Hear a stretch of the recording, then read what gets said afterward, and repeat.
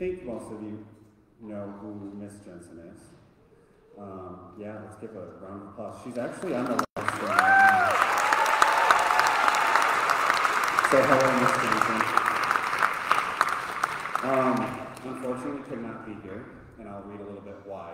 But um, these kids are doing something that fell into our lap by chance in a way, um, which we're very lucky, and it, you kind of forget how lucky we are to have a world premiere. And I know for some of you that doesn't really mean much, but um, as far as what that means is um, one of the major publishing companies that most schools are using now is called Murphy Music Press, who Ms. Jensen has had a couple of pieces published by.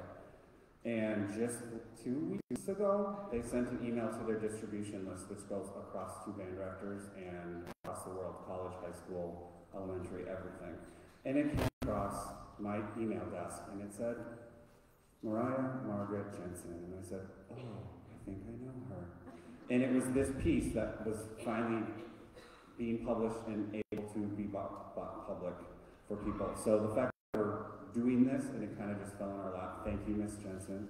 Um, but she had a little message that um, I'm going to read to the kids. Uh, Dear Symphonic Band, I have been so excited to hear you play at the concert on Monday, and it, I had it all worked out that I could come and watch.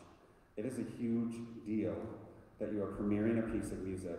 There's no one I'd rather have introduced this piece to the world than the students of the same band program.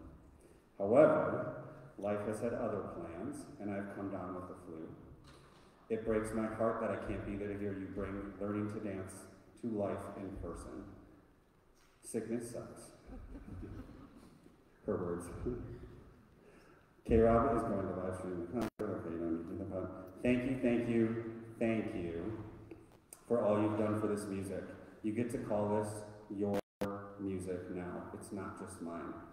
All the work and personal time and energy that you've put into has made this music belong to you.